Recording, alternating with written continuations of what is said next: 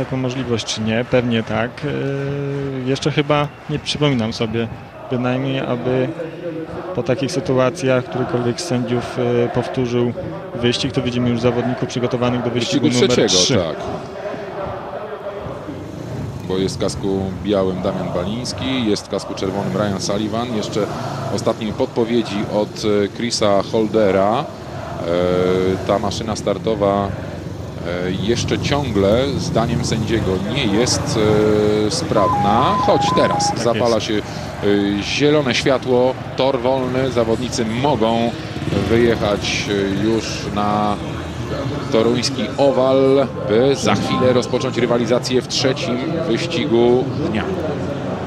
Wracając do wyścigu numer dwa, myślę, że naj, naj, warto zwrócić uwagę na jazdę tych, którzy jechali na trzeciej, czwartej pozycji, zwłaszcza Bachelora, który e, był atakowany w sposób poprawny przez Wieśka Jagusia, ale e, widać, że Leszczynianie po jeździe Bachelora są przygotowani na tę geometrię. E, bardzo pilnował się, aby wychodząc z łuku wychodził bardzo wąsko, e, wiedząc, że Torunianie będą tam atakować, więc może Odrobili wspólne, lekcje, wspólne odrobili oglądanie lekcje meczów może wspólne oglądanie meczów ligowych z Toru, z Torunia przynoszą efekt. Było Już to takie widać mini zgrupowanie, jeśli chodzi o drużynę leszczyńską. Pewnie e, nasi reporterzy o to zapytają. E, Było także e, wspólne oglądanie spotkania tego jednego rozegranego tutaj przez Leszczynian w tym sezonie na toruńskiej motoarenie, także kilku innych spotkań, także ostatniego spotkania wygranego przez Unibax z Betardem WTS-em Wrocław. No jak Krzysztof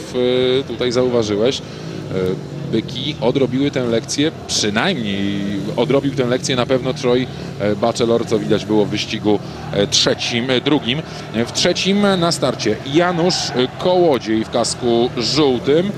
Będzie miał wszystkich rywali po swojej prawej ręce. Ryan Sullivan w kasku czerwonym, Univac Toruń w kasku białym, wspomniany przeze mnie już Damian Baliński i w kasku niebieskim Hans Andersen powrócił po rocznym mariażu z Gdańskiem do Torunia.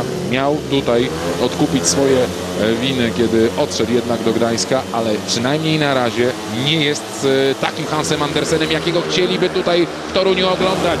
Najlepszy start Janusza Kołodzieja po zewnętrznej rozpędzają się Torunianie kapitalnie. Ryan Sullivan wystrzelił jak z armaty, a przy krawężniku nabiera e, tempa i szybkości Hans Andersen wzięty w kleszcze Janusz Kołodziej, ale teraz Kołodziej odparł atak Andersena, wykorzystał e, moment zawahania się Duńczyka Damian Baliński. E, Wszedł na trzecią pozycję na czele Ryan Sullivan, za nim Kołodziej, Baliński trzeci, ale ostro naciskany przez e, Hansa Andersena. Andersen pod łokieć Balińskiego wypchnął Leszczynianina i już jest trzeci, a więc, a więc e, wydaje się, że ten wyścig zakończy się e, drugim zwycięstwem zawodników Jana Zombika i Jacka Gajewskiego, bo w przodzie mknie niezwykle szybki, mimo przegranego startu z Januszem Kołodziejem Ryan Sullivan, on wygrywa w imponującym stylu inkasuje trzy punkty.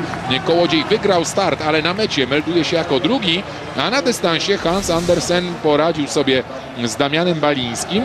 No i tutaj e, zauważyłbym taką rzecz, że mm, jeśli chodzi o motoarenę, to Damian Baliński przynajmniej na razie w e, tych ubiegłorocznym, tym ubiegłorocznym meczu, finale Impu, e, pierwszym tegorocznym meczu rundy zasadniczej i dziś w tym pierwszym starcie nie potrafi poradzić sobie z geometrią toruńskiego owalu. No to prawda, Damian chyba nie czuje tego toru aż tak dobrze. No mam wrażenie, patrząc na te powtórki, że Że ta taśma znowu nie idzie Tak. równo. Mhm. ewidentnie nie idzie równo. Może nie była to aż tak wielka różnica, ale, ale wciąż nie idzie idealnie równo po obu stronach. Tu widzimy e, walkę Janusza Kołodzieja z Ryanem Sullivanem. Faktycznie Janusz wygrał ten start zdecydowanie, pojechał po wewnętrznej części toru, który moim zdaniem jest w tej chwili zdecydowanie bardziej twardą nawierzchnią i widać było jak szybko odrobił stratę Ryan Sullivan jadąc mało wyłamanym motocyklem po zewnętrznej części toru. Tej nawierzchni już tam na środku toru jest dosyć dużo, a jest ona wilgotna, więc e, widać było od razu różnicę w szybkości.